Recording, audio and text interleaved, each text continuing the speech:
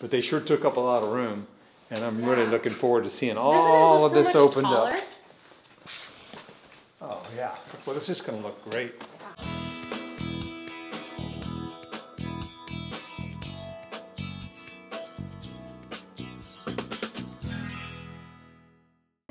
So we're demasking Yeah.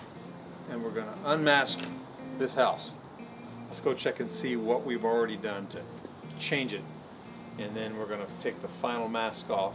But we really, right now, are- it's a huge transformation from what we already saw. So let's take a look at it.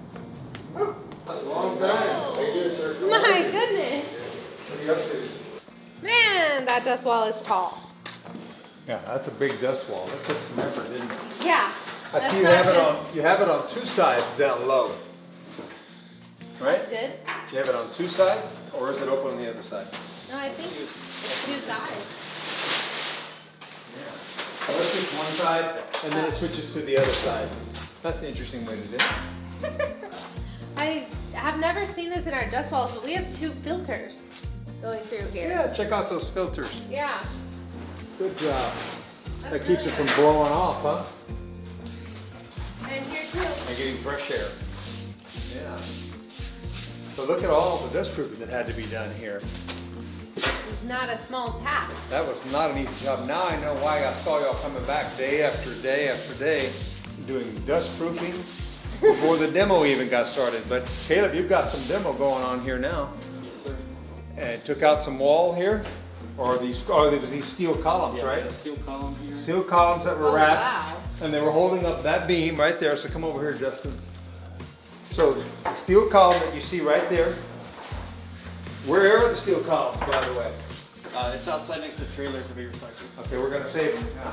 And it came all the way up. Those columns came all the way up and supported this beam. It was a really pretty beam too. And it had straps, steel straps on it, right? Yes, sir. Little south. So now what are we doing? So now tell us how this is gonna finish out. This is all going to be wrapped in oak. All of this, Yes, sir. all of this is gonna be wrapped in oak. Oh, this. The, the beam. Yeah, but look at the size of this. Yeah. Look at the size of this, Justin. Can you see that? Oh yeah. Look at That's the size crazy. of this beam here.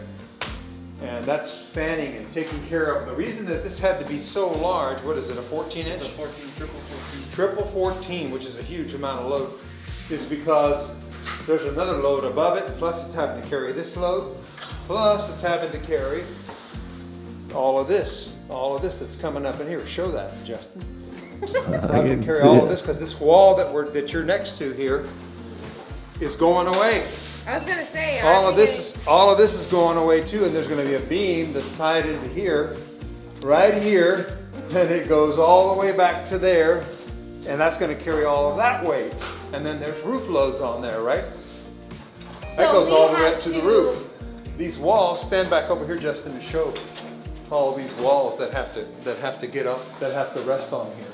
So in this particular project, because of all the load bearing, we had to frame before we could even finish demoing some of the walls. That's correct. Thank you.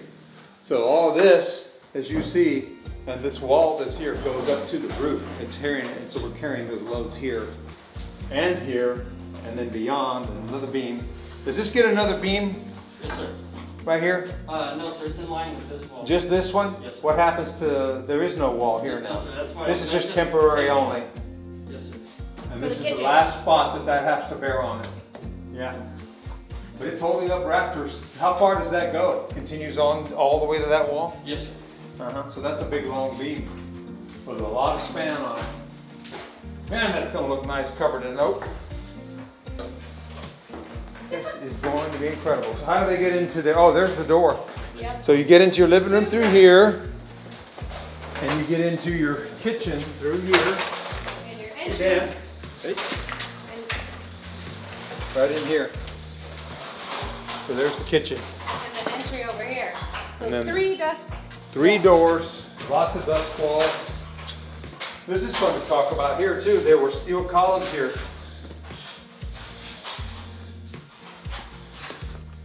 This is the wall that was separating us, right? Guys, Yes, sir. this is the last wall between us and the entrance. Yes, sir. Okay, so Is this coming out? what happens here? There's gonna be a- an extra large column here built around this to carry the load. We're gonna make it very structural. And the rest of the wall goes away from here to the Where does corner. this go? This all builds up right here. No, sir, that's just a little diagram. Oh, okay. It's gonna go right here. Yeah, and all We're the gonna wall incorporate goes this- away. We're gonna incorporate the steel plate. Yeah, there's a steel plate in here, which you hardly ever find. Look at that, steel plate. Why don't you stick that steel plate out so I can have it? You're gonna keep it, right? We're gonna incorporate it, yes, sir. No, I'm just kidding. Also, they have these metal straps which are utilized to help lock it in this direction. Since the steel plate's helping this way, these straps go all the way, help tie it in from any above. And what is that supposed to do? It's supposed to give strength this direction from any down pressure. Which plywood can do, or Yeah. even the sheetrock? But we're taking that off. Yes. And this, and this was open? No, it was all the way framed across. It was, it was framed in a pony wall type, double wall. Okay. Yeah, I was real curious to what these would look like. Did the other ones have that steel in them too? No, sir. Just that Well, one? See, these columns were gone before we got here. Oh, they were? Those out, yes, sir. The homeowner took those No, out? The the demo crew. Oh, the demo crew, okay. This was the only, the only one that had steel? He doesn't know because the demo crew took them I'm gonna have to ask, well, did you see the steel anywhere laying around? No. Okay, we'll go outside and look for it. You would see it, I'm sure, if it was laying around. This is probably the only one that's weight bearing, because those were non-structural. How did they know this one was structural and those weren't? We told them, right? Yeah, they, they probably got that information from Walker, David, and Chad. Yeah, yeah. So this one is probably the only one that had steel on it, since these were non-structural.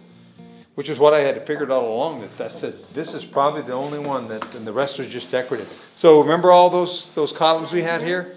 I think you'll hear me saying that, and that these were probably not structural. But they sure took up a lot of room, and I'm really looking forward to seeing all of this so much opened up. Oh, yeah. Well, it's just gonna look great. And when these walls are gone that we built, now it's making it feel smaller. Mm-hmm. But when this is open, just stand back there. Stand back there, Justin, and look right about there is where the entrance is. And you're gonna be able to see all the way through. This was here before. I know we did this before. But pretty soon you're gonna be able to see all the way to the backyard.